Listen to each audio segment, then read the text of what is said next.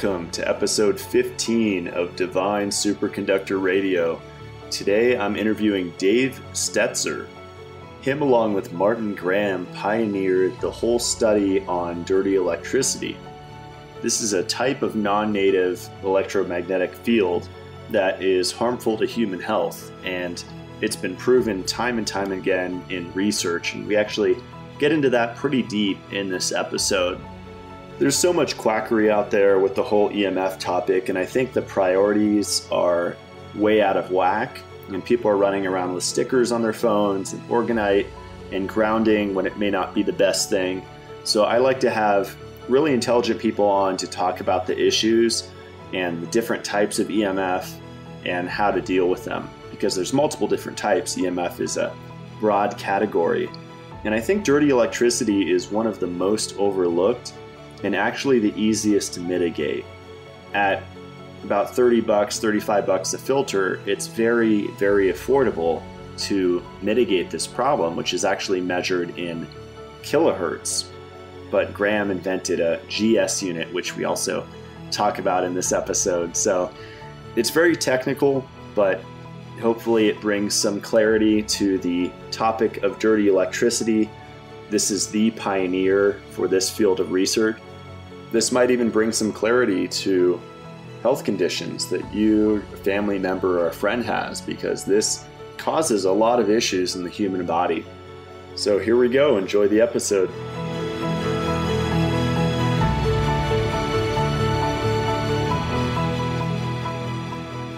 All right, I am here with Dave Stetzer. Welcome to the show. Oh, thank you. Yeah, really appreciate you coming on. Um, I've been studying non native electromagnetic fields for almost the past decade. And I'm really grateful that I got into it early in my health journey because I think it's one of the, the cornerstones of health that a lot of people dealing with chronic illnesses don't realize um, until it's too late. They tend to forget the environment. They focus on you know diet or exercise and these things, but they don't realize that we're living in such an unnatural environment. And with each new technological advancement, um, that affects our health that, because we didn't evolve with with these fields. And so I really appreciate you pioneering the work with uh, dirty electricity because I think it's a real issue. Uh, yes, it's something that everybody's exposed to. It doesn't matter uh, what country you live in or anything like that. If you have electricity, you have dirty electricity, if that's what you want to call it. Yeah, I, I live uh, in a cabin at 6,000 feet in the forest, and I was so surprised when I plugged in a meter to, to check in millivolts, and even remote areas can be off the charts, and that that was kind of shocking to me. So um, let's just start from the beginning. Can you define dirty electricity? What is it? Um, I have a phrase here It says combination of harmonics and transients generated by electronic devices and by nonlinear loads. That sounds like a mouthful. uh, well, basically, that's what it was. Uh, Dr. Graham, who is the part of the Graham Stetzer, Martin Graham, was a professor emeritus from UC Berkeley. And he has over 40 patents to his name, so he's a well respected, well fellow member in the Institute of Electrical and Electronic Engineers.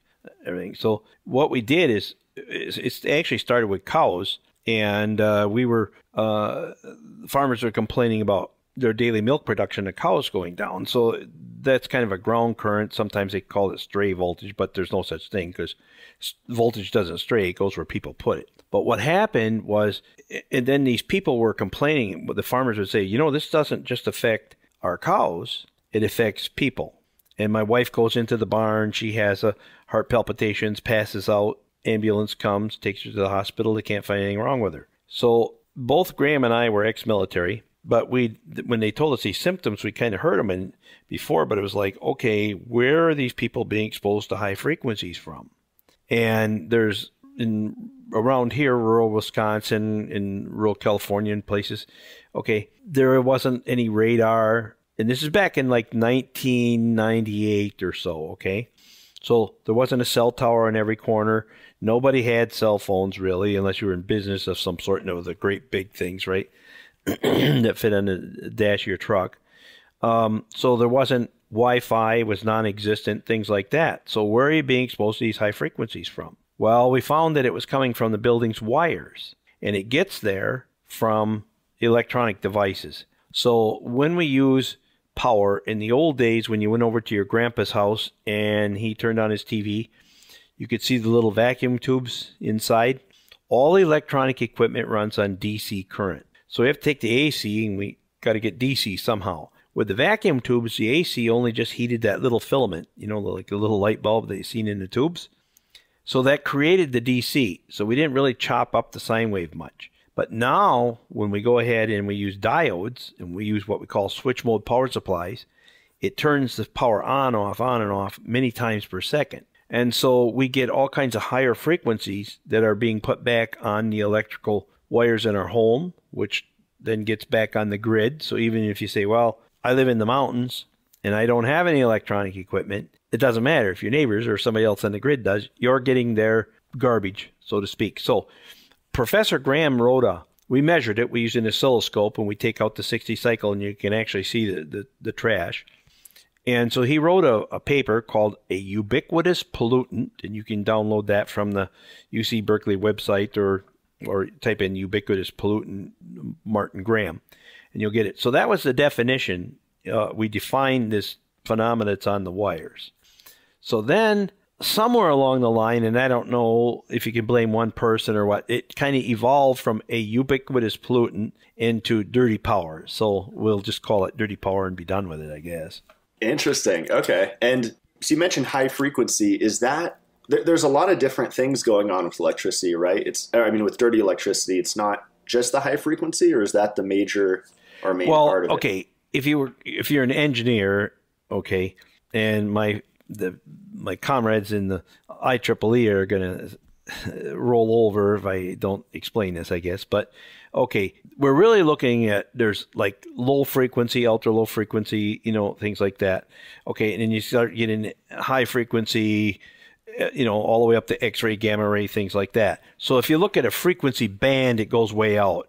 But when we're looking at this, we're looking at something that's between 4 kilohertz and 100 kilohertz or that area. Okay, so it's extremely low frequency is what the de- the IEEE definition would be. It's going to fit into the extremely low frequency, but it's higher than the 60 cycle that we are exposed to. If you made the human electri- uh, human body into an electrical model, it's called the UL five component model. It looks like three resistors and two capacitors. A capacitor is a short to high frequency. So what happens is any energy above 2 kilohertz will dissipate internal to the human body. So if you have your little toaster and you plug it in or you know something like that and you got good clean 60 cycle, it really takes a lot of energy to push that field through or into your body, okay? But if you have some little device, a little cell phone charger or something that hardly draws any current, but you have this between 4 kilohertz and 100 kilohertz, anything above 2 kilohertz, uh, goes internal. The reason I keep saying 4 kilohertz to 100 kilohertz is the World Health Organization, the Russian government, and the Japanese government all say that the frequencies between 4 kilohertz and 100 kilohertz are the most biologically active frequencies. That's that's really interesting because I've been looking at studies on it and you've you've listed a bunch which are awesome, but there are a lot of studies trying to disprove it saying, you know, it's not you know, it's pseudoscience and all this, but the way I think about it, the brain runs on frequencies, right? And it goes from zero to 40 hertz, and it can go beyond that for short times, but 60 hertz and all these things, I mean, our body's not designed for it. And so um, I'm really glad you brought up that point. Anything above two kilohertz goes internal. That's really, that's really key. yeah. So you can say, well, where am I exposed to two kilohertz from? Well, I'm talking to you on a Mac uh, Book Pro, okay? That's putting 12.5 kilohertz back on every wire in this building. Well, not quite in this building because I short them out with filters, but uh, but it would put it back on the line, right? A Dell, I have a Dell computer sitting over here, the, the tower, that's putting 16.6 kilohertz back on all the wires. The compact fluorescent lights, the CFLs, they put between uh, 50 kilohertz and 100 kilohertz back on every wire in the whole house Smart meters is something that's come along now, okay? So everybody gets a smart meter on their house, and this, in order to transmit that data, they have to have change that AC to DC, and so they it switches at 50 kilohertz, 50,000 times per second. Well, even if you have an opt out program and you're saying, well, look, I, I don't have one in my house, it doesn't matter because if the neighbor's got one, you're getting their 50 kilohertz into your bedroom at night when you sleep. I'm really glad you brought up smart meters. We were speaking on the phone, and I'm friends with a lot of people that do a lot of crazy stuff, you know. And I think there are practical applications of aluminum foils we'll talk about, but um, you know, smart meter guards are really big now. And I used one for a while, and you know, it's these this cage. But you said on the phone that it could it could just direct it into the house right behind it. well, that's what it does. It's like a you put this over your the smart meter, okay, and then there's a cover. It looks like a stove stovepipe, okay, and it goes over the glass, but it shoots it right through the wall into the house. So then it makes it worse, okay. And if you see the people that are advertising this, they're standing out in the yard with a meter and they say, okay, look at here. Now we put this on. These are our levels and look at how they dropped. They did drop significantly. But when it comes to RF energy like that, what happens is you're reflecting it. You're not killing it or absorbing it or something like that. You're reflecting it. And so it's like a mirror. So, okay, now you put this shield on there and you put this cover on, it, all that energy goes right back through.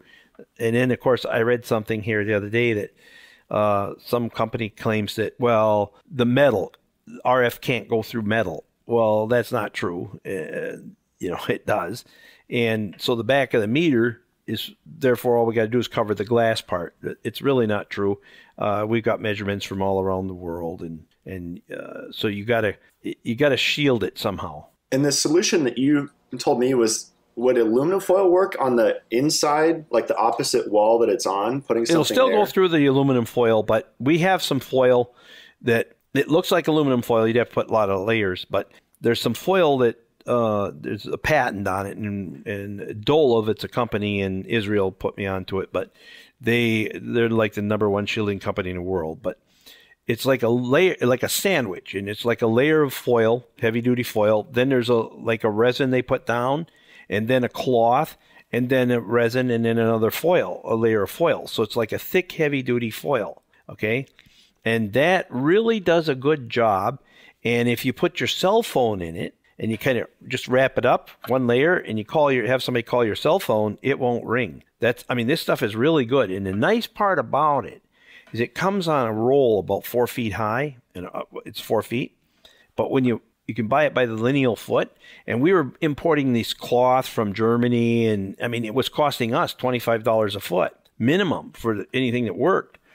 And the cloth is kind of, it's got silver in it. You can't use it in certain places because of oxidation, things like that. This stuff is only like two bucks a foot. Wow. So if you take a four foot piece, it's four feet high, and you take a three foot piece for six dollars, you can put it over the wall on the uh, inside of your house where uh, your smart meter is. Now it's going to hit that and it's going to reflect it right back out. Now you don't want to go out in the yard and stand in front of it, but unless you live in your yard, go on, go in the house. You're safe. That's fascinating. Have you heard of Wilhelm Reich? Because I've I've had um, conversations on my podcast about EMFs, and I have friends, you know, in the spiritual community. They're literally making resin and like cloth type material, and this is based on Wilhelm Reich, who made this orgone supposedly generator. It was basically sandwiched, just as you were saying, but you know, instead of having a pendant like a lot of people are doing, you would literally have to build like a, a wall and be inside of it. But just curious if you've looked into his work. He was kind of in the same vein as like Royal Rife.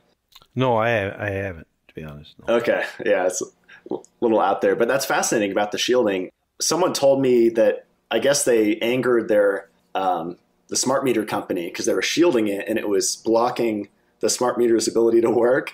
And so I guess they threatened to put in what's called a Medusa, which I've never heard of, but I guess that thing puts out a crazy amount of of uh, frequencies. So interesting times. There's so so much to learn. Um, you also talked about RF energy. So is radio frequency is that being emitted from all the wires, and do the Stetzer filters help with that? Yes. Uh, um, what happens is these high frequency transients and harmonics, okay, they go back on the electrical grid. And when they reach a three phase line, which really wouldn't happen in most homes, right? Uh, because you don't have, most homes don't have three phase, they have single phase. But schools, office buildings, things like that would. But when it reaches a three phase line, but the grid also is a three phase line, okay, when it gets back onto the grid, they become um, additives. This third harmonic, and it can reach the RF into the RF range, and uh, it, it becomes quite dangerous. And of course, it does radiate from the wires. Yes. Is a good analogy like the waves on the beach and it just compound into a bigger wave and that's RF or Yeah. Well, the waves are going to be shorter and but it's a wave, yeah, and it it comes through space and uh, it's not good for your body. Yeah, I, I use a, a, radio frequency meter that has a sound feature and mm-hmm. it's kind of scary. I mean, you put that up to the phone and I think a lot of all the different countries, and this is the thing with EMF, and I think this is where um, you know the skeptics have to look at all these countries like Russia and they have safety limits that are way lower than the US. Like our smartphones are just microwaves, right? yes, but when you do research, okay, you got to remember like Russia, Verizon wasn't in Russia at the time when they did the research. And I've been to Russia many times and I know these people who did research there and Professor Yuri Grigoriev is probably one of the leading uh, researchers there, and he actually is a personal friend of mine. The same as Professor Nikitina Valentina, who uh, I consider a personal friend, and she's she's what they call the grandmother of electromagnetic radiation, and he's the grandfather of electromagnetic radiation. Okay, but these people have done a lot of research, and it was independent sort of like research. I mean, the government paid for it, but they had no interest in the outcome as far as uh, financial interest. Okay. Here, what they did here, it's the criteria. So they say, well, okay, uh, let's do some research on RF, for example. So what they did is they, in the United States, they looked at the heating of the cells. So when your cells started heating up, then they say, oh, what level is that at? And that's where we'll make this. You can't go above this level. That's where we have problems, okay? But now, you could be vomiting. You could be your eyes swollen, okay? Pressure in your eyes. You could be bleeding internally. You could have all these issues, bleeding out of your ears, um, mental depression, you know, teeth, fillings breaking down in your teeth. All these things can be happening, right? But that doesn't count. We don't care about that. We don't set a level down here when when you know your teeth are fillings are falling out of your teeth or something like that. We set it way up here to when we get to where we want. Okay, well now all everything down here is okay. You know, so they just move the criteria. So it's sort of like uh, like cows, for example, in this voltage thing I was talking about. Uh, we're showing levels as low as 10 millivolts shows a violent reaction in a cow. The state here, and that's peak to peak, which is not RMS, but Okay, so anyway, the state's showing something like 3 volts peak to peak before it affects a cow. Well, how can we be so wrong? And we have over 30,000 cows on film showing this reaction. So when you read the paper, how they did that, they put two trained observers in front of a cow to watch the facial expression of the cow. They applied a voltage between her nose and her rear feet. When the cow twitched her nose, blinked her eyes, and wiggled her ears simultaneously, they said, oh, what's the voltage reading? Okay, so it was like one volt RMS, which is almost three volts peak to peak. So now the states have adopted rules that say, okay, until it's one volt, there's no level of concern. Well, the cows will kick, the milkers will come off, they can't get bred, they don't stay bred, they abort, they have miscarriages, all these things, right? Uh, milk production, major drop in milk production, things like that, way, way before. And actually, the, the statistics show uh, that anything below 60 millivolts, peak to peak, which is only going to be like 20 millivolts or so uh, um, RMS, there's no more high producing days. So it doesn't matter how good the farmer is, how he feeds his cows, he's never going to get the potential that he should get out of those cows. So the research is junk science. That's fascinating. Yeah, in the the talk you did with with Martin Graham years ago at the Smart Life Forum, um, one of my favorite parts is where someone in the audience asked you guys about the ideal millivolts reading, and um, I think it was you that said anything above 30 affects the pH of our saliva, and then above 35 affects blood sugar. Uh, I thought that was really interesting. Yes, we have we used an oscilloscope, and so what happened when we used the scope? Uh, it's a five thousand dollar piece of equipment, and you got to kind of know what you're doing to use it and things like that. I mean, we do it for a living, so that's you know second nature to us. But but not everybody's you know, that way. Okay, so when I was in Russia and Kazakhstan and places like that, they said, "Oh my gosh, you know, we don't want their health department kind of goes out and investigate this. So if you have like headaches, nausea, flu-like symptoms, you know, things that, that what they call radio wave sickness, they diagnose you as radio wave sickness, not chronic fatigue or fibromyalgia or ADD, ADHD, all the made-up diseases of the 80s. They call it radio wave sickness. It's called exposure to higher frequencies. So they send their health department out to investigate where is it coming from. Well, when we were there, we were showing, hey, look, it's coming from the building's wires and we showed them on a scope. So it's like, okay, well, how can we do this? We can't afford five thousand dollars for every health department agency here.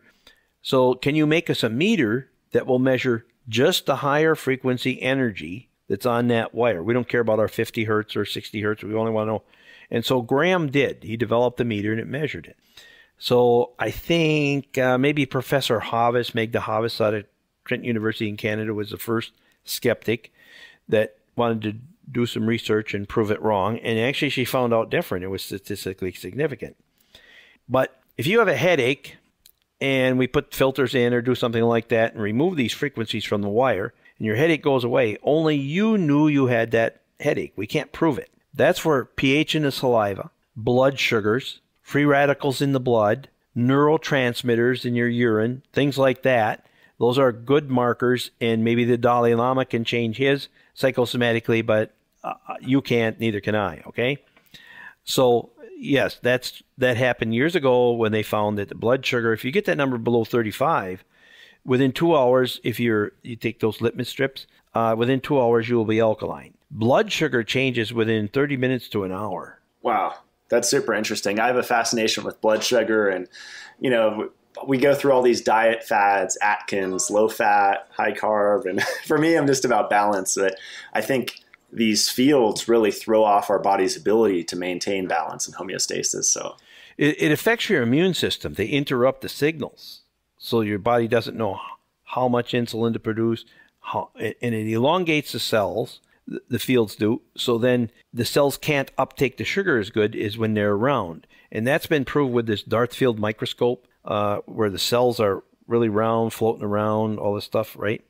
And then when you expose them to these fields, they get like clumpy, like blood clotty, like, and then it's not they're not uh, able to uptake the sugars, things like that, and it loses the permeability of their walls. So I mean, there's a mechanism to it. But there's like 22 million di- I don't know what it is now, but last figures I seen with just in the United States alone, there's 22 million people diagnosed with di- with diabetes. That's a kind of a epidemic. Yeah, I think for me, unsaturated fats like vegetable oils and and dirty electricity or just RF and EMFs are ma- mainly the two contributing factors uh, to that.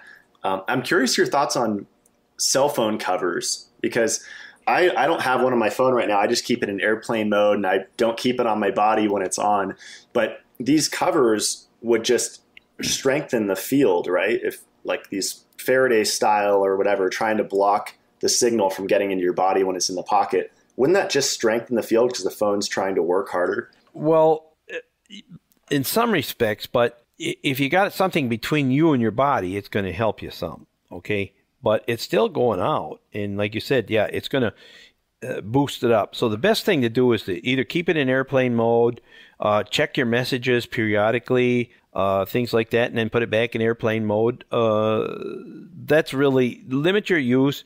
If you have to have it, like in an office or something where you're using it for calls, set it as far away from you as you possibly can. Uh, you know, things like that. Put it by a windowsill, for example, because it, the, what happens with a cell phone is, you know, it looks for the tower all the time. It's looking for a tower. If it can't find the tower, it boosts up to a higher level of energy. Can't find it again, it boosts up again until it finds it. So if you put it over the windowsill, for example, then it's probably easier to find that tower than it is to go through the building or something like that. And you don't have to put, you know, put it, you know, where you can get up and go get it. I mean, somebody will let it ring, you know, two, three times or four times, or, you know. That's interesting. And that reminded me of uh, what you told me on the phone about grounding. I just want to talk about that for a second because, you know, I have a lot of friends that ground and earth and with 5G now and all these things. I mean, it's you're kind of making an antenna that you're sleeping on with the silver threads. And so, can you talk a little about that and the aluminum foil thing you told me?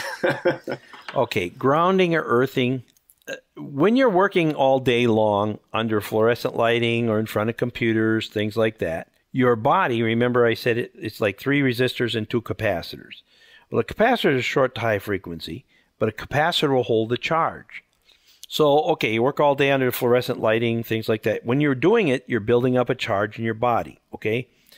When we say a charge, there's a bunch. Electrons are when you go back to your sixth grade science or something when you learn the periodic table, right? Remember electrons, protons, neutrons in the atom.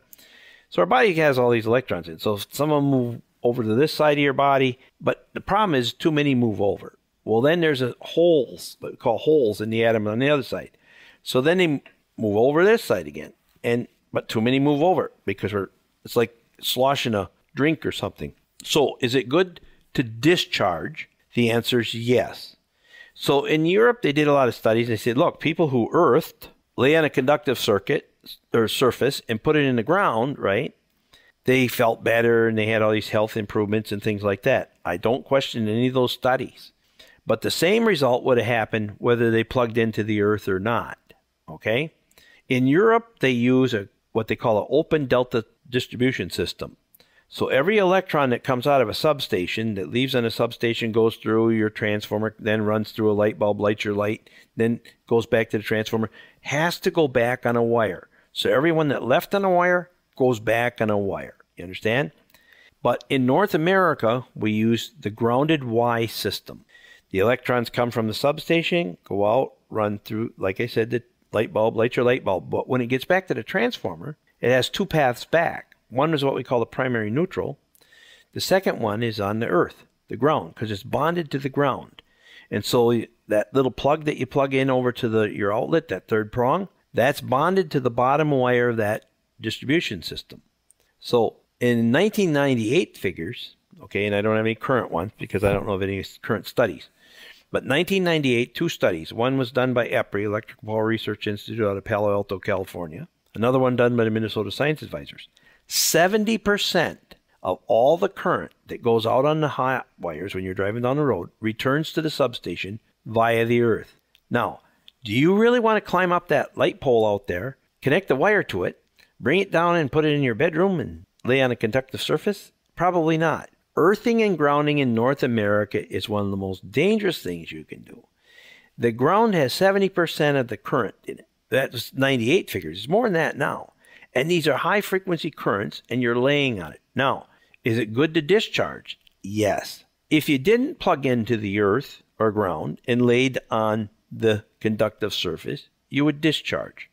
If you take an Epsom salt bath, you will discharge. Go for a walk on the beach, you will discharge. But if you're cheap and don't have a lot of time, take a piece of aluminum foil, lay it on the floor, stand on it with both feet for less than a minute, about a minute, for sure a minute, because we have instruments that can measure it, but the, we got to allow for processing time of the instrument.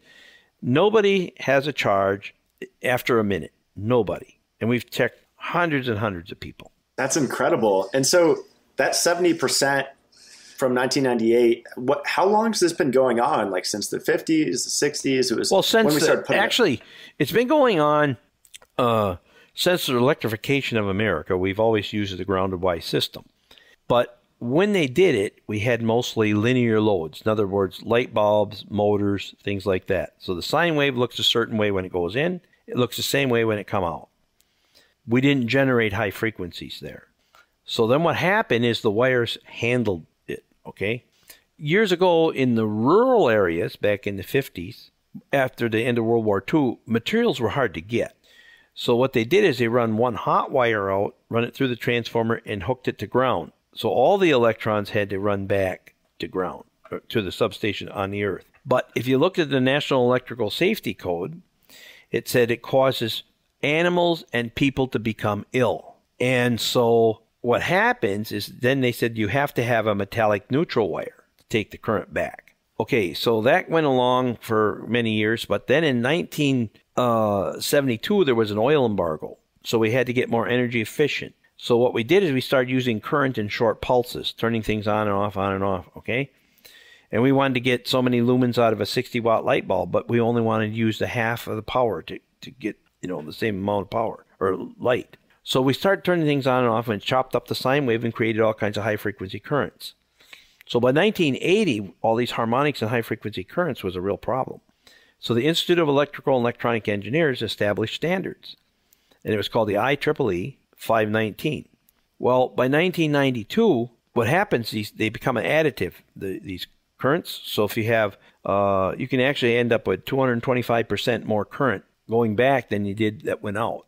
Okay, so what happens is the wire isn't big enough to take it back. So the, the electric utilities lobbied the utilities, uh, uh, public service commissions, to allow them to use the earth as a return path. So they put the current back in the ground again. Now, the question is prior to 1960, and it's right in the code, when the earth was used as a return path, it caused people and animals to become ill. Well, there's 10 times more current being sold in 1998 than there is, or 1992, actually, I went back to 92. So there's a lot more than that then. There was, in 1992, there was 10 times more current than there was in 1960. But if 70% is returning via the Earth in 98, right? Uh, you can do the math. I mean, you, you know, it's, you know, like I used to figure like 100 amps were going out and 100 amps return via the Earth, be right, or 60. Now, if you have 1,000 amps, 10 times more in 98, right? And 70% is returning via the Earth, there's 700 amps in the Earth, right? So if 100 amps caused people and animals to become ill in 1960, what's 700 amps causing in 1998? That's so, incredible. yeah, and and so did people change or mutate or something? Where you know that's why you have so many illnesses. I, I really do believe that. It certainly does affect milk production, and we can get charts and we we plot it and we count how many times a day a cow got shocked. Look at her daily milk production, and we look at it over a long period of time, and you get an exact chart. Wow. Well, one big question that comes to mind is why can't the Earth handle it? Because I think, I mean, I've studied acid rain and all the stuff we've done to the carbon cycle, the hydrological cycle. I mean, we've been altering the Earth's the Earth pretty dramatically with what we've been doing here with the, the Industrial Revolution. But people would say, well, doesn't the Earth discharge that with the Schumann resonance or all the trees? But it's just too much, right? I mean, that's so much. No, it's a circuit. It's like a wire. The Earth becomes like a wire. Um, so you got to go by the laws of physics. So Kirchhoff's law says for every electron that leaves a node, one has to return. So if 10 amperes left the substation, 10 amperes got to return to that substation. Okay? So it doesn't care where it gets it from, just so it gets it. So if it's leaving and you connect it to the earth, it'll get back there. But the problem is the earth isn't like like a wire with no resistance in the you know or some place this has resistance or impedance okay? So now you come along and you stand on that circuit. So a certain amount of that current is going to go up one leg and down the other. So wow. you become part of the circuit. So those electrons on their way back to the substation so you take like farmers they're all usually out in a wet environment on the the uh, concrete floors things like that okay? The prostate cancer the worst occupation to to get uh, prostate cancer uh, a few years ago was farmers. That's incredible. Have, have you looked into like the calcium? I'm sure you have, but the voltage gated calcium ion channels? Because I'm a big fan of, of magnesium, and I don't think it's really in our diet. So getting it some way, transdermal or whatever. But I think there, that's a big aspect, right? The calcium. That's an cell. area that I leave to other experts. I, I'm mainly uh, Okay, yeah, just yeah, yeah, you're an expert in that field. Um, so another question in that Smart Life Forum talk, this is another one of my favorite parts. Um, one of you guys talked about when you flip a switch and the lights go out for a second. W- what is that? Is that overloading the circuit, and how does that relate to dirty electricity? Uh, I don't remember the talk, but if you're I remember being there, but I don't know who said what. You know, if you flip on like a high powered thing and the lights. Okay, but when you when you turn a light, even in a home, if you turn your office light or something on, okay, when you turn the switch on, it doesn't make like poof instant contact. Okay, so you're getting closer, closer, closer, and then it makes. Well, the closer you get, at some point in time, there's an arc. Just, just try to turn your light switch on real slow. You know, hold it. You'll hear it. You know, a little arc Arcing is a high frequency event. Now you can say, ah, it doesn't go very far. Well, if you remember Marconi, you don't remember him, but you know, for uh, you look at your history books, Marconi, he was in Newfoundland, and they a little arc gap transmitter, and the signal was picked up overseas in Europe. So does it go a long ways? I guess so. wow, that's incredible. Have have you uh, did you ever look into Nikola Tesla? And a lot of people are obsessed with him, and he he did some interesting stuff. Yeah, everybody and anybody in the electrical industry or business has heard or, or uh, with Tesla. Yeah, didn't he invent AC or he he, he made a different well, way of transmitting electricity? There was a big argument about who was going to go with AC or DC. Eh, you know, the grid. But the problem with DC is that you have to be really kind of close to the source and you can't change the voltage so easily.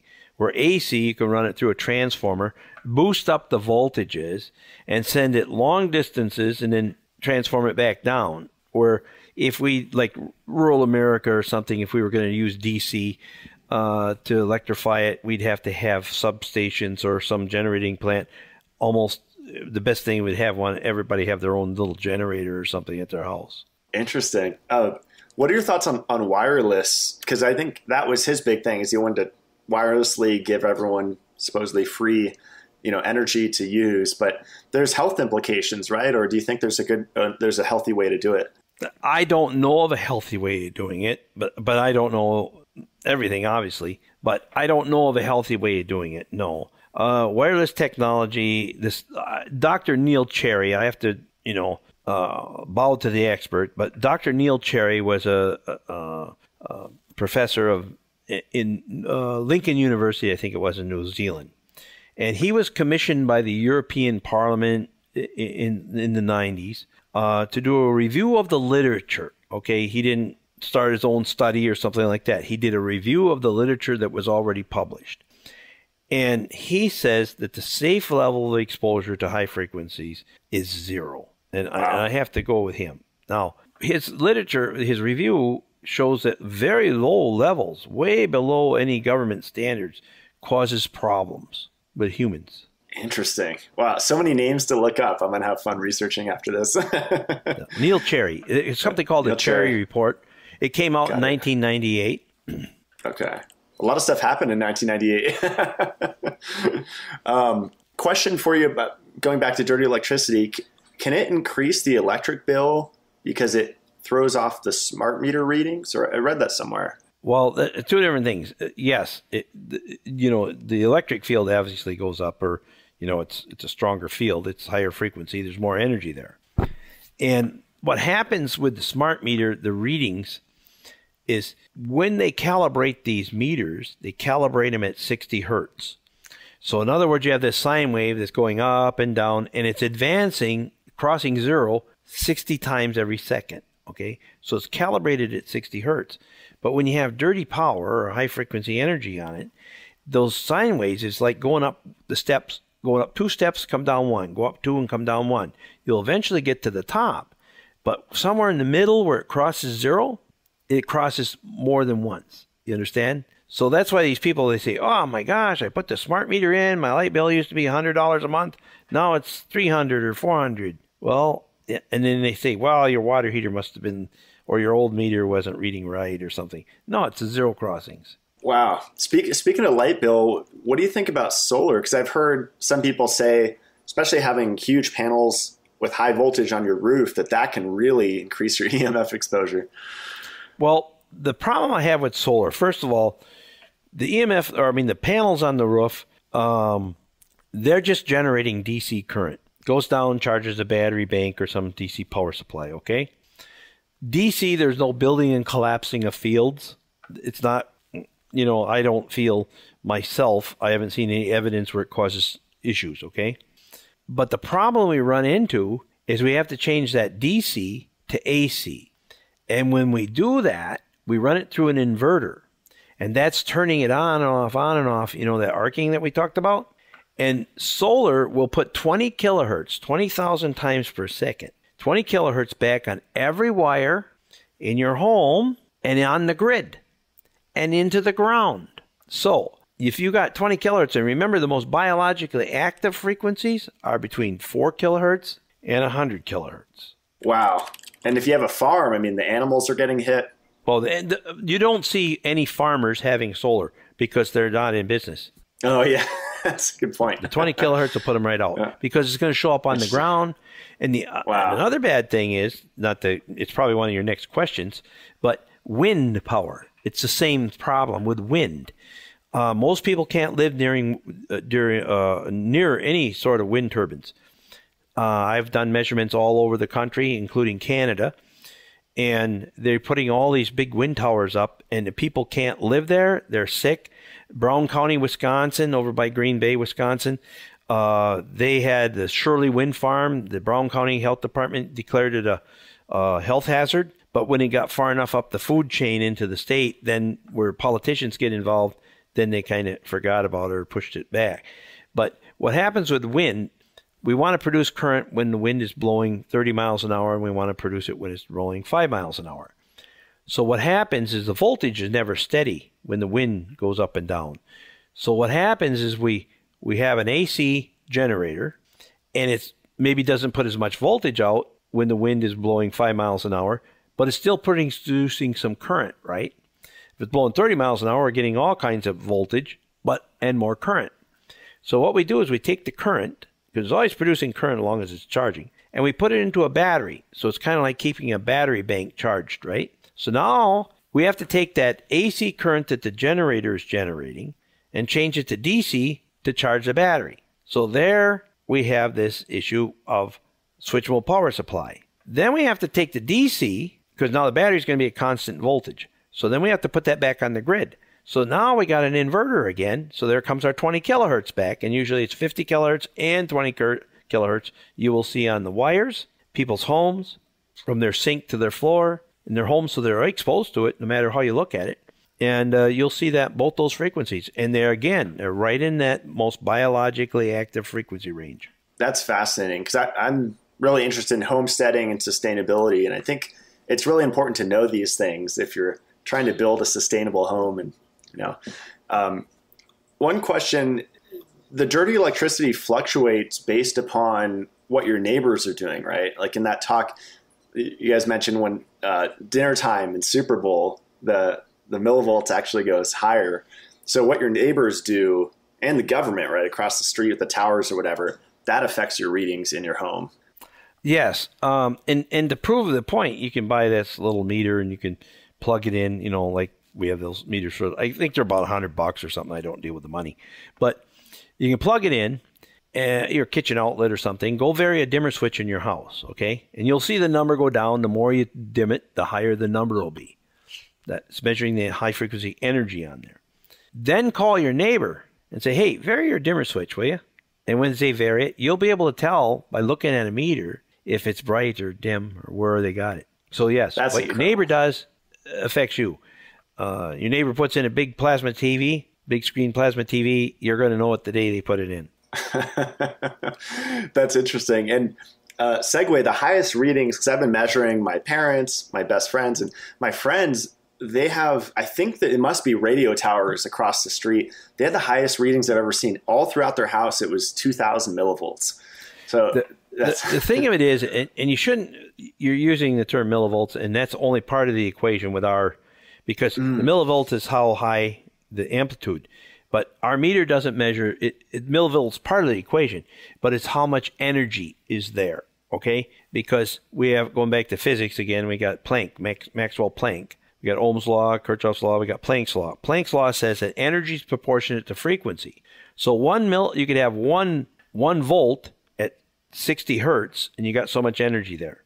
You could have a millivolt, 1,000 times less.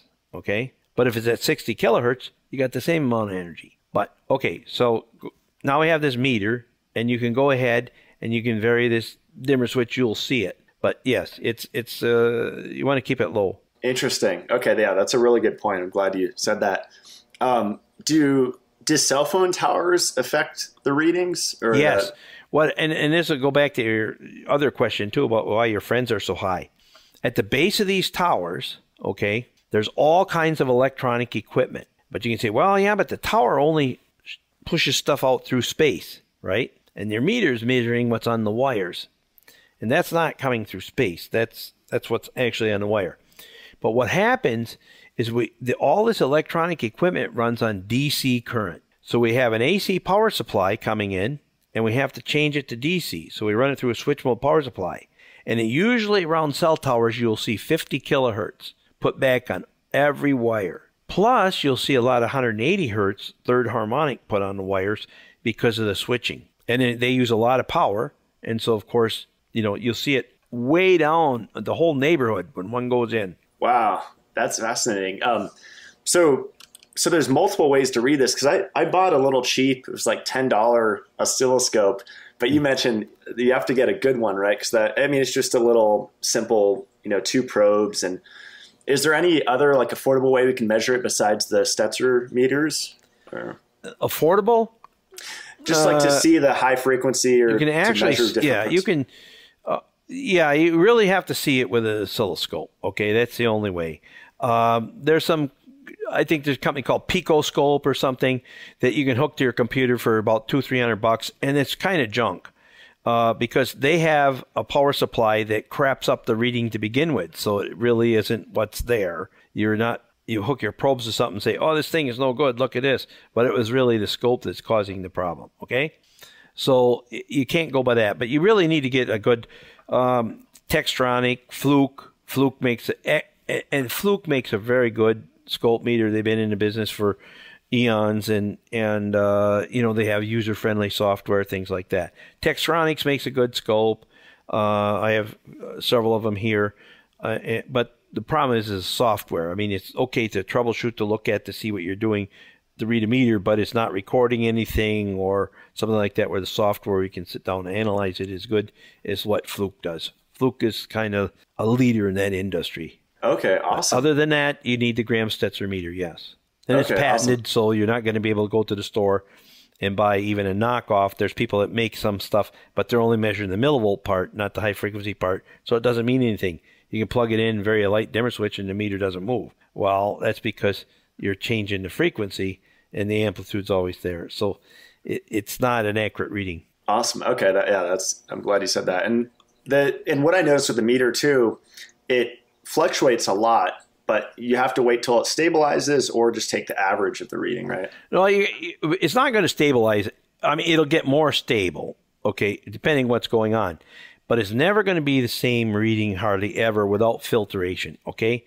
And the reason is is because there's so many things that are changing on that grid all the time. When you if you don't have filters in and you plug it into an outlet, you're going to see it fluctuate all over the place. But if your neighbor turned the light switch on, turn it off, uh, you know, turn the TV on, turn the TV off. Even a computer will pay so much dirty power, but if you move the mouse or ask it to do some processing, it will double. So you see, it's uh, if you have filters in or something, then it's going to be more stable. But but yeah, you want to see that number. You know, actually, the research will say 35, but uh, in my opinion, if you get it below 50, I think the same things would have happened. But but that's only because I'm looking at that two kilohertz line. And if we get about below uh, 50, we're below two kilohertz. Got it. Okay, that's a really good point. Um, and it helps your neighbor when you install Stetzer filters, right? Because you're actually harmonizing the, the wiring in your in the, the whole area.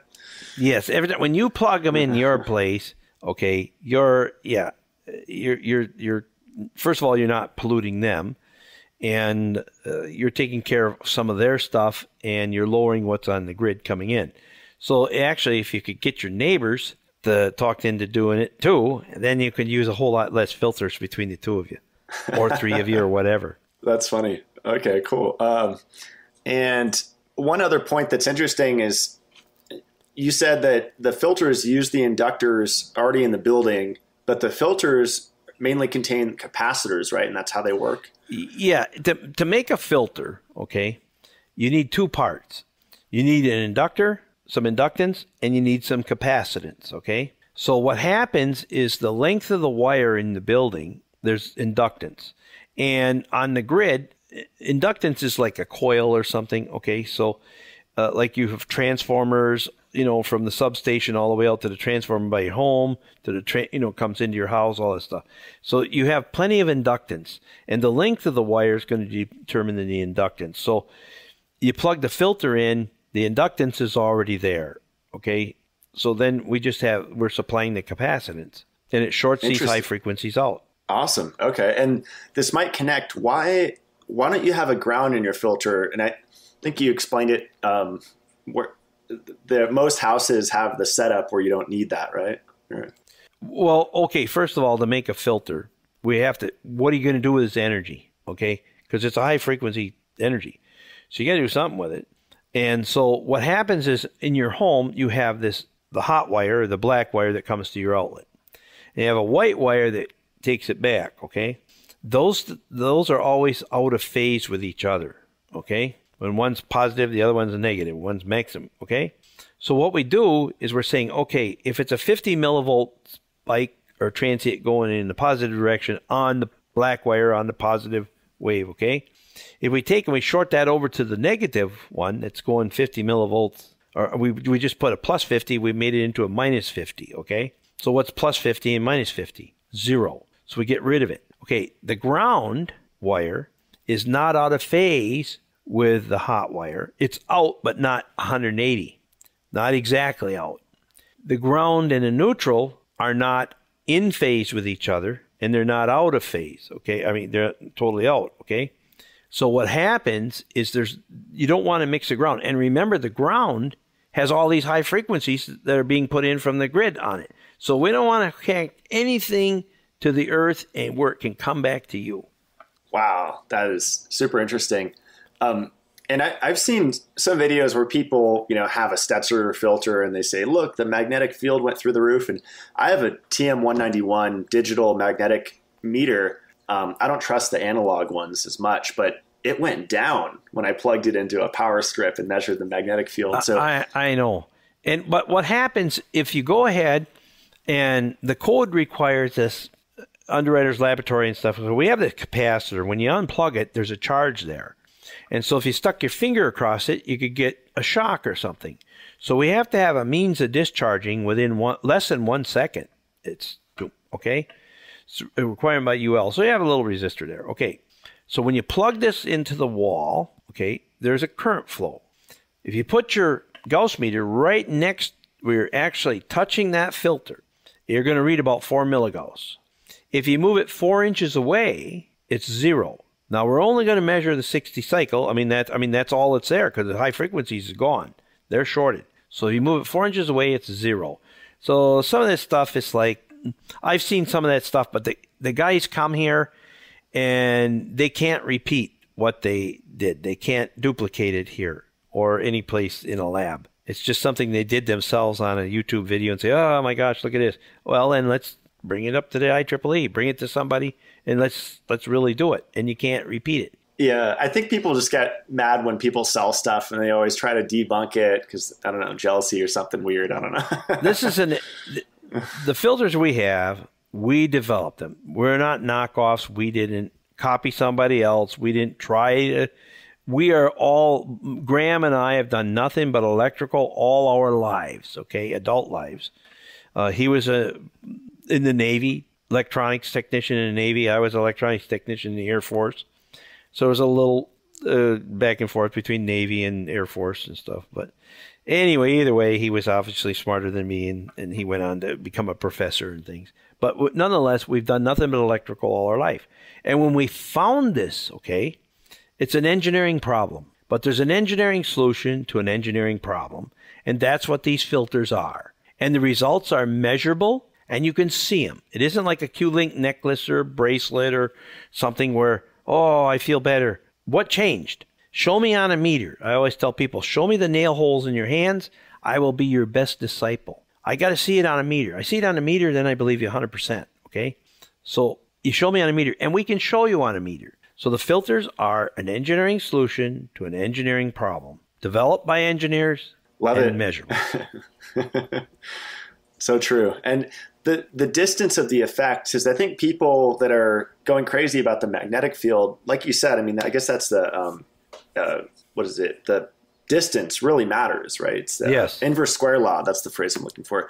But the the dirty electricity, like, can you speak a little bit about how that extends? I've read like one to two feet. Is that? Well, it goes farther than that.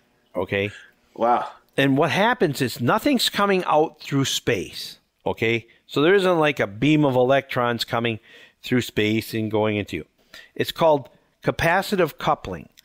I don't know if you ever played with magnets when you were a kid, but if you have a north pole and a south pole, you get them so close and you can feel them start to pull. But if you flip one around, you see, you know, they you remember like charges, you know, uh, uh, repel, unlike charges attract. So what happens if you're in a room and say you got a room 12 feet wide and you're in the middle, absolute middle, that's the safest place then, because uh, you're not as close to one side or the other wall. But okay, but it's still not safe. So what happens is when those electrons are moving, when that charge, okay, that transit is like going in a positive direction, the electrons in your body are negatively charged particles. They move toward that positive charge. Now it goes negative, right? So what happens? They move back again. And so you start to get an oscillation in your body. And that's measurable that you can see that. We can stand underneath a fluorescent light or okay, or some a lot of electronic equipment, computers, things like that, right? And we can measure this. So now what happens when you put the filters in or, you know, somehow remove that, right? Then that there's nothing there. So how far can you get away? Well, you can't get far enough really inside of a building because if you back away from the north wall, you're getting closer to the south wall. It's as I say, the middle is the best place, I guess, or safest. But then usually the light fixture's in the middle of the room, so then you got another problem. yeah, one, one of my mentors, Dr. Ray Peat, um, has been writing since like the 60s. Um, he was talking about how different parts of the cell have variable voltages. So it's not just uniform, same voltage all throughout the cell. And so that's what I think about when you talk about the electrons moving, right? It's happening at the cell level inside the cell where it's screwing up the cell communication and how we produce energy. Yes, that was proven by Sam Milham. Uh, not in those terms, but it was absolutely was proven. Uh, what happens? Uh, he took twelve people. You know, actually, it was at the Olympia Washington Library, and he checked their urine for twelve weeks. He collected their urine and he checked the neurotransmitters in the urine. Neurotransmitters is like the electrical grid of your immune system. So, if, like if you get a cancer cell on your prostate or your ovary or something, there's a signal that goes from your brain or from the that cancer cell or something up to your brain says, "Hey, there's something here that doesn't belong." Your brain sends a signal down, says, "Let me check it out," and it comes back and forth all this information. Say, "Yeah, you're right. I'll send something down to kill it or keep it in check." Okay. So you don't want to have your, these neurotransmitters. You don't want them leaving your body. You want them in it. So Milham did research. He collected their urine for 12 weeks. Nobody had less than 300 neurotransmitters in their urine. You don't want to have any. So everybody's got more than 300. I flew to Washington just to supervise. I didn't have anything to do other than that, uh, this study, to make sure they didn't put two filters in somewhere and then say, hey, look, it didn't make a difference, right? So I made sure the numbers were, you know, correctly and, and they were properly installed, okay? Then he checked their urine and now they work eight hour shifts, so we have to say within eight hours because we don't know when they collected their urine. and he checks it again for 12 weeks. Nobody had more than three neurotransmitters in their urine. So you don't want them leaving your body. So it is your immune system, it is the electrical grid of your immune system. And again, these are numbers that can be plotted against the number on the wall. Now, it was below 35 or 30 or what. I, I have to read the paper again, but it, he wrote it up, yes. That's incredible. Yeah, because uh, it's every time I sleep at my friend's house with 2,000 uh, millivolts on the reading. It's such a high reading, I can't sleep that well. And I just imagine maybe that's slamming my pituitary, pineal hypothalamus, and all the, the cells in the glands in my brain, right? It's probably really disrupting. You certainly got a lot of current flowing or happening there, yes. yeah. it's a lot of energy. And over yeah. 2,000, yeah.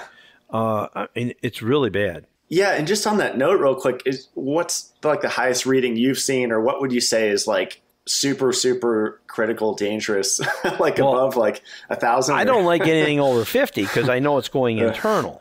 Okay, but uh, you know I don't want it over fifty. Period. I guess. I mean, uh, but. Uh, I've seen people with three, four hundred be really ill, and I've seen people with a thousand be, you know, well, yeah, I guess they're probably more so, you know. So, I mean, the highest readings I've seen was actually at a hospital in Palm Springs, and I think that was we had to make a special meter to get the number, and I think that was right around ten thousand. Hospitals are such a, a, gnarly place. I mean, that's so sterile and the fluorescent lighting and EMFs. Well, there's so much going on. Why we were there is um, what happened was these nurses that would give people chemotherapy. Uh, they'd have these. It was like a long corridor, uh, kind of wide, and they have these TVs, TVs, TVs, and then you sit in like these reclining chairs, kind of, and you could watch the TV while this drip was going in but the levels were so high. But the nurses themselves were getting it was statistically significant amounts of uh, outbreaks of cancer, and so that's kind of why we got there. And this number was just off the wall, so I can easily see why they were having those that's issues. Wild. And you think about shift workers too. I mean, throwing off their circadian rhythm. I mean, we're we're going to see dis- diseases skyrocket. I think just continually. Well, I think they are skyrocketing. Realize. Really, diabetes yeah. is like an outbreak. I mean, when yeah. I was a kid, I, I don't think I knew anybody that had diabetes. Now everybody has it. Yeah. And people are pointing to, to the food, right? But I think the more practical thing is the EMFs. I mean, the food plays a part, but it's largely our environment. I grew up on a on a farm, and my grandfather was a farmer, and uncles, aunts, and uh, you know, we never had had milk on our cereal. We had cream, you know, and we never had pasteurized milk. I mean, we had whole milk butter was everything. I mean, big globs of butter from the creamery would bring out, you know, and and we had it in a bowl like a cereal bowl on the table, and everything got cooked in butter, butter on everything, cream, uh, whole works, and uh, nobody had diabetes, nobody had you know any of these diseases. So I don't know about the food part. yeah, the saturated fats are, are, really good for us. critical, I think. Um, so one of my last questions, then we just have a couple for a Q&A. What why don't you need a filter in each outlet? And I think you might have touched on this before, but usually like two per room is maybe three, right? Is necessary. Well, it goes. The average home has two TVs and one computer, and then the average home will take twenty filters. Now, I've been in areas where you know where where it only takes like twelve, but it's usually some sort of retirement or people are older and they're not having a lot of kids and things like coming home, firing up the computer and all this stuff. All right. So it goes by the area, what you have in, in the area, but you go by the meter. Just go by the meter. The meter is a simple thing to use. You plug in the meter, but but do the electronics first. You're going to have to put them on the TV, computer, uh, entertainment center. You know, when I say TV, I mean the the TV and the DVD and the VCR and all that stuff. Only it'll take two on the power strip, and that'll be it. Computer it includes the printer, includes the you know something else, you know, an extra monitor if you got that or whatever. So you put two there first because you need them there anyway, and that's going to lower the numbers. And every time you plug one in somewhere in that house, it lowers the numbers everywhere. So they're going to reach a point where you don't need them anymore. That's awesome. Yeah, and I, I recommend. I, I've switched to wired keyboard and mouse, and everything's going wireless. You know, and I think the office workers, telemarketers, people that have an office job at a desk get hit so hard. I mean, they're mm-hmm. sitting under the lights, and then their hands are right on this field. So just installing maybe a filter on the power strip, right, or maybe even two, and getting wired keyboard and mouse can help a lot of people. Uh, will help dramatically. It really will. Um, the number one, you know, like worst occupation for breast cancer is call centers. And there you have both hands on this keyboard and all this all the time. And, you know, I mean, I didn't write the report or the thing, I just read it. So yeah, it's and we're under fluorescent lighting, all this stuff, and so you don't need a filter for every outlet. And like I said, you need to check every outlet, but you don't need one in every outlet. You only plug them in when you plug a filter in. You're going to get a number, and you're going to plug the filter in. If you see it drop significantly, and I define significant as 20%, then you need one there. Then go to the next outlet. If it doesn't come down, don't worry about it. Go to the next outlet because that just means you're not that close to the source. But uh, when you get the numbers below 50, you're going to notice. And, and the nice part about it, the results are, are faster than penicillin. The results are instant. Uh, like the neurotransmitters, within eight hours, you know, the, the immune system was back to work. Uh, I mean, it's blood sugar, 20 minutes to an hour. And if you are diabetic, you better be checking your blood sugar every 20 minutes from the time you put those in because you will really come down fast. Wow, I love it. I used to measure when I was into intermittent fasting and ketogenic diet. I'm not anymore, but I would prick my finger and measure, you know, ketone, ketones and blood glucose and all that. So I should measure that now. It'd be a fun experiment to see what happens. um, this might be a, a, stupid question, but um, putting the elect the the the Stetzer filter in a car, a car isn't emitting these type of fields, right? Too much. The car is running on DC voltages, uh, and there's no place to plug it in. There's no place to put it there. Uh, they're an AC thing, and they're made to, for you know 120 volts, and so yeah, the car, yeah. like cars, the newer cars now, they're going to yeah. come with Wi-Fi and all that stuff. You need to get that disconnected. The there's some studies that I I heard of now where uh, these young people in their 30s are having strokes, and they're getting it on the right side of their brain. Well, what happens is the Wi-Fi is right above their head on the right side, kind of like in the middle of the car, you know, type thing. And now they're starting to look into that. You know, Jeez, you got to figure you're only about a foot, foot and a half away at the most from that Wi-Fi transmitter. Yeah, I just traded in my car for a, a truck, and you know the the salesman made me activate OnStar because he gets you know five bucks or whatever. And not to bash OnStar, but they told me all the stuff that they do. You know, if someone steals it, we can track it. We could shut off. Blah blah blah. I'm like, geez, it sounds like a lot of wireless going into this. I don't know. and I at the end of the month, you're going to get a report about your driving report. Okay, about you slammed on the brake 16 times. So now you're a poor driver. Now you find out later. Wait, how did they know that? It's all being transmitted, right? Then you find out that they're selling that information to the insurance companies. So now I'm a poor driver, so my rate should be higher than the guy who, you know. And uh, it's interesting because I did buy a new truck and I got that report, and it was like 16 times I slammed on my brakes. So I'm in a really, you know, less than 80th percentile. I live seven miles from here. In my town, there's three, 400 people where I live. And I think I got two or three stop signs. So before I, you know, get here, and we kind of roll through them because there's never any traffic. So when did I slam on my brakes 16 times? You know, uh, not here, oh, not me. well, good thing I define like slamming on your brakes then. right, really good points. But all um, that information is being transmitted. Yes. And yeah. where you are, all those things, uh, it, I don't like it. It's an invasion of privacy, first of all. And besides that, it's making me sick. Yeah, I, I fully agree. And I think practically uh, in the settings, a lot of these cars, I think like 2012 or newer or whatever, you can turn off the Wi-Fi. Yes. Um, that's really good. And I would recommend not using a system like OnStar or whatever. I mean, usually with your smartphone, you could call for help if you need something. so, right. And, and it's cheap. Uh, you yeah. know, I mean, it, it, I mean, it's cheap to use a cell phone compared to OnStar. That's a yeah. big price. Yeah, not to bash them, but no, I, I, understand, but but it's true. Yeah. It's a fortune yeah. for OnStar. For sure. Yeah, yeah, I, agree. Um, so someone asked, are there any improvements a person can make to the electrical system that avoids or mitigates the effect of dirty electricity, or is it just intrinsic to it? So I guess they're looking to, you know, if they build their own house or they have a renovation, is there anything they could do to the the system in their house to prevent it? Well, I don't like to share neutral wires, and that doesn't prevent dirty electricity, but it's easier to fix if you don't.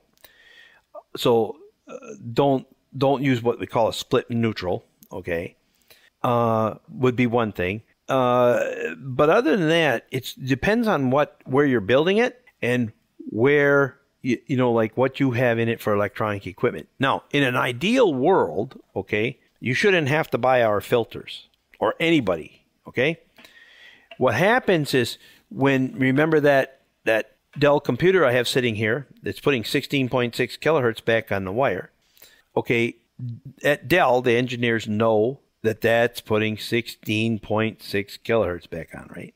So they could make a tuned filter for 16.6 kilohertz and install it right at the computer, right?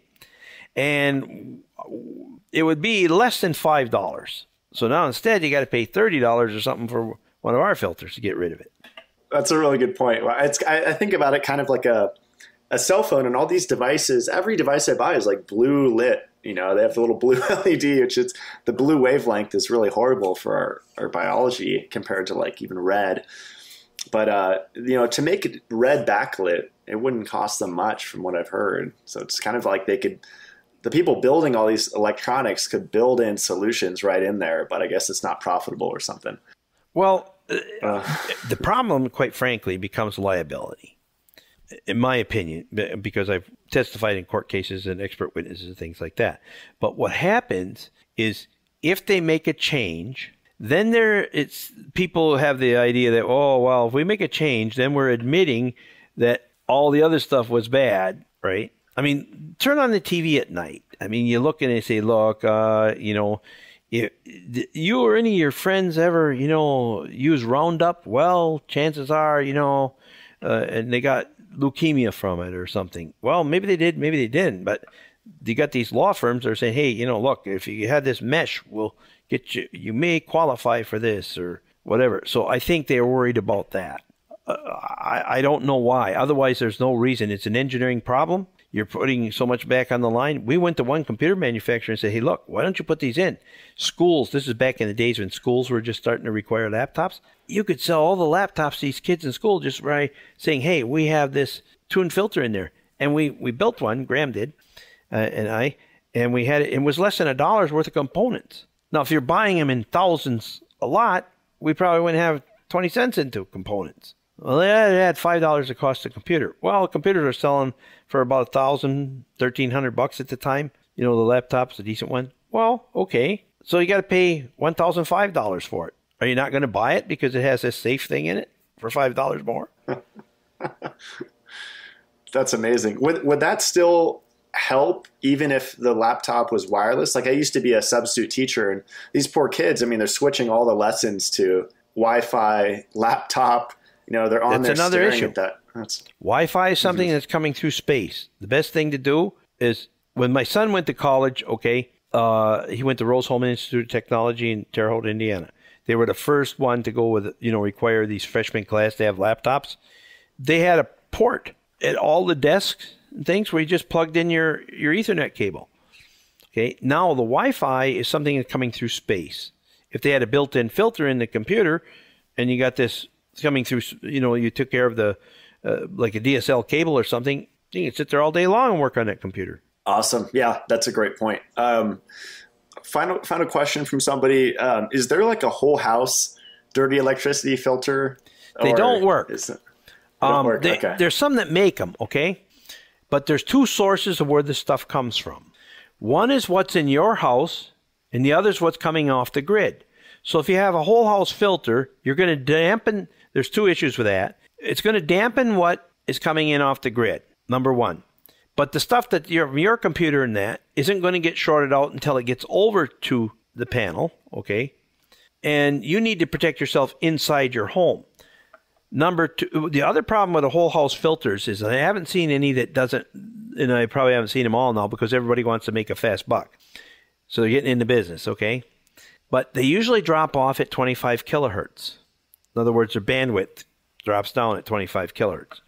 So anything above that, okay, so years ago, when switch mode power supplies were 12 or 25, a lot of 25 kilohertz stuff, you know, it was probably okay. But just the smart meter alone is 50 kilohertz. And, you know, we're getting higher because we want a cleaner DC, so we're switching faster and that. And so what happens is it doesn't take care of it. Another thing we, that, but I won't say that that's a bad idea because that was our first idea. And so we did some whole house filters, okay? And we did some research with the University of Wisconsin Madison, and we had 20 people with chronic fatigue syndrome. And we put these filters in their home. It was a double blind study, so somebody else came and they turned the filters on and off. You didn't know if it was on or off. 10 people knew that, that when it was on and when it was off, miraculously got better when it was on, really went slid back when it was off. Seven people improved quite a bit when it was on, didn't improve quite, you know, like went backwards, regressed when it was off. Three people said, well, look, we don't know if it's when it was on and when it was off. We can't tell the difference. But those three people, okay, when we went back and looked at the waveform, okay, they didn't really change that much. It's because they were both, like the husband and wives were both ill. They had big screen TVs, and she didn't like to watch the same show he did, so they had two big screen TVs, right?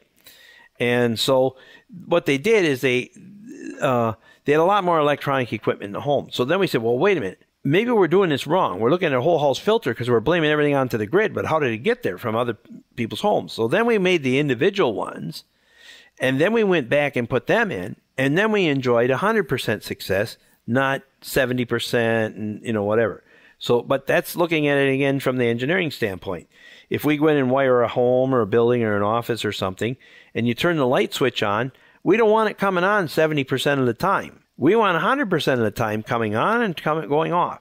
If it doesn't, we got to change the switch or make a better switch. So the whole house filters, and be, okay, and plus they're expensive. So you can take if you really are worried about what's coming in, you got a really crappy grid. Put an outlet off of next to the panel off of A phase and one fed off of B phase. Plug in one of our filters in on each side, and and that thing goes from two kilohertz way out to a megahertz. Okay, so that's going to take care of those frequencies, and you won't find much on the line over 100 kilohertz anyway. I love that. That's really fascinating. And um, one question came up as you were speaking. My, my neighbors actually have a smart home, and you've probably heard of like Alexa, and you know, you say, you know, what's the weather like, and she responds, which I think yeah. is freaky. And that probably having a smart home, which people are getting into now, that that probably raises the kilohertz through the roof, right? They probably don't sleep right. They probably headaches, nausea, you know, the restless sleep uh, irritability, mental depression, mental depression, things like that. And if you look at the symptoms of radio wave sickness, they would lie to be lying to you if they told you they didn't have any or, or hardly any of them or something. Wow, that's interesting. Well, hopefully, I'm helping them out with the filters, and um, that explains why they don't want me to move because they're probably they probably feel the benefits of all the filters. um, well, I really appreciate you coming on. Um, and I got a lot out of this. I learned a lot. I mean, you've been studying, you know, electricity your whole life, and I still have a lot to learn. I'm very humble, and um, you know, knowing that it's not just about millivolts, but it's about kilohertz. That's really fascinating to me. And the amount of electronics in the home matters. And dirty electricity is really coming through the wires. It's not wireless, and it extends further than a few feet. Those are a few of the cool things I learned in this talk. So, well, you know, I don't want to go back to the Amish world or the world of my grandfather. Okay, I mean, I like having, you know, when I get home at night or something, I don't mind turning on the TV. I want to watch the news or whatever I want to do. Okay, I want, I need this computer. I need my cell phone. I don't need need it, right? But I like to have it. I enjoy these things. Uh, it's technology. So then the question becomes: Can I use modern day technology, and can I use it safely? And the answer is yes. I'm not going to throw this computer in the in the garbage. I mean, I like it, but I have a filter plugged in, and I have it on on DSL. I mean, there's twenty some computers in this building or more, and uh, they're all hooked up to DSL. Nobody complains of headaches, nausea, or anything like that. Yeah, I've, I have my whole cabin wired on Ethernet. And that's another big thing. Just not having Wi-Fi and having hardwired, I think, would help a lot of people too. It does. Plus the Absolutely. filters. Yep, you're absolutely yeah. correct. I love it. it. And do you have any mitigations for for five G? Nah, not. Uh, I'm. that's a rough, that's a tough one. yeah, but the best thing is not to, to put it in. I'm sorry, I said, said again. The best thing I said is probably not to put it in, but I don't think we don't yeah. have any choice on it. Yeah, I think just staying healthy, low stress, having dirty electricity filters, and really just supporting our immune system. And as you as you said, our neurotransmitters. So awesome, Dave. Well, I appreciate you coming on. Uh, just, just hang on. We're going to close out the show. Okay, sure. That was jam packed with information. I learned so much from that interview. It's really interesting that dirty electricity started with cows and milk production going down. I also didn't know about radio wave sickness and the Cherry Report. Very, very interesting stuff. And just the fact that 70% of all the electricity that goes out on wires returns to the station via the earth. That's a game changer for people that are grounding a lot. And just to reconsider grounding in big cities might not be the best thing. So there's so many interesting questions that came up during this interview, and hopefully it'll help you guys to connect the dots. But I consider this man an expert in his field, and the Stetzer filters work and the micro surge meter works. Really, really fascinating stuff.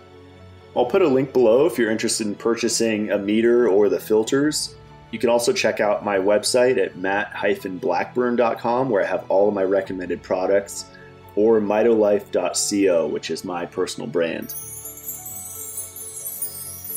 Today's quote is by Stephen McGee. Stray voltage is the most serious form of exposure. Electrocution kills very few people per year. Stray voltage exposure is suspected to be making people sick in the millions.